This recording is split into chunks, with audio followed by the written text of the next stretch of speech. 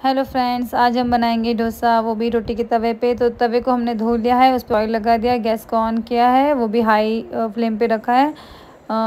उस तब एक बार हमको हाई फ्लेम पे रख के उसको ठंडा करना है तवे को, और फिर लो फ्लेम कर देना है। उसके बाद हम लोग को तवे पे बैटर डालना है, और भी हल्के हाथ से फैला देंगे बैटर। बैटर फैलाने के बाद हम लोग को उसके ऊपर थोड़ा सा ऑयल डालेंगे। आप जो भी ऑयल आप वो सनफ्लावर ऑयल डालेंगे अच्छा रहेगा रिफाइन ऑयल और बाकी दूसरा ऑयल मत यूज़ कीजिए, उसमें स्मेल वगैरह रहता है तो डोसे में स्मेल आ सकता है। तो हमने एक चम्मच ऑयल डाल दिया है उसमें, और अभी हमने गैस की जो फ्लेम है उसको मीडियम करके उसको तवे पे डोसे को पकने देंगे। तो डोसा हमारा पक रहा है दोस्तों। डोसे को हमको मीडियम फ्लेम पे ही पकाना है, ज़्यादा फास्ट पे नहीं पकाना है। अगर नहीं तो हमारा डोसा जल जाएगा। मीडियम फ्लेम पे ही पकाएँगे। तो हमारा डोसा भी पकने लग गया। किनारे से देखिए आप, उठने लग गया था।